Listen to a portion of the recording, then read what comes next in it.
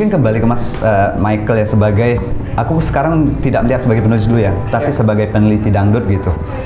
Apakah fenomena dangdut sekarang sudah bisa kita kategorikan sebagai sebuah fenomena kebudayaan?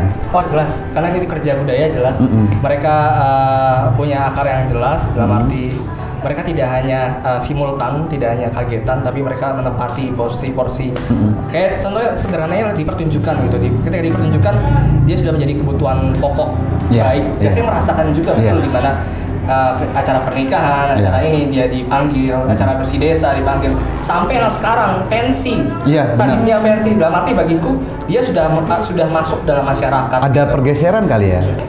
Di mana? Di mana dulu orang hanya pensi-pensi diisi oleh band-band yang istilahnya yang yang apa ya, yang mainstream ataupun dia indie, tapi sekarang udah berani masuk ke ranah-ranah dangdut Betul. seperti ini gitu. Ya bagiku ini apa Mm-mm. kayak perubahan yang positif Mm-mm. untuk dangdut betul. Karena tadinya kita tahu dangdut hanya eh, ada di ya kapten terus di Mm-mm. kafe. Ya. Wah udah bisa cerita banyak tentang itu. Iya, iya. Ya, paham, paham, paham. Square.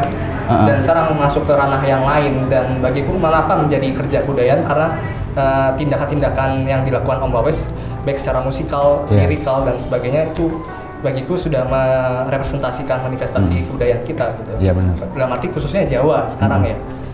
Nah sedih gitu, sedih laki-laki emang nggak boleh gitu. Hmm. Bagiku ini suara-suara yang menarik gitu. Iya.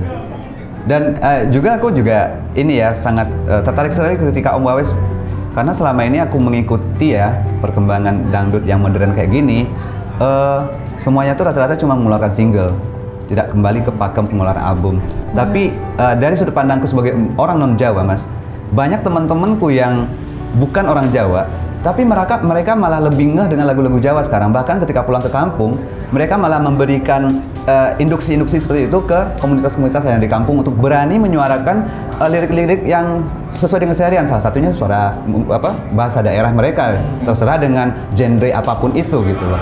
Dan saya sangat sebagai orang non Jawa sangat iri dengan Om Wawes dan kawan-kawan lah yang bisa menjadikan kultur bahasa Jawa menjadi sebuah penyampaian yang enak ya sekarang.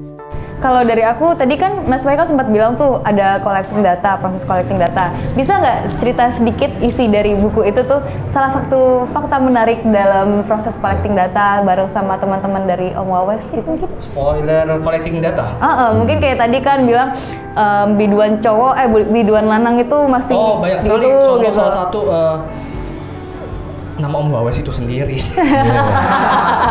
Kenapa tuh Mas? itu jujur banyak banyak banget aku bisa ngerasain ja- banyak banget data yang bagiku surprise sekali ketika collect data ya Mas Tony dari Mas Gaseng gitu dari Mas Gendut Mas BG itu bagiku banyak apa ya eh, plot twist plot twist yang tidak terkira kayak nama nama Om Wawes gitu Hmm. Mm-mm. itu di Bisa dibocorkan? Dibocorkan dikit aja oke, nggak apa-apa. Bagiku Om Wawes, nama Om Wawes adalah eh, potret kekritisan mereka untuk melihat eh, fenomena dangdut ketika itu. Oh. Hmm. Ya kan? Untuk info lebih lanjut berarti harus baca bukunya. Baca bukunya. Oke oke.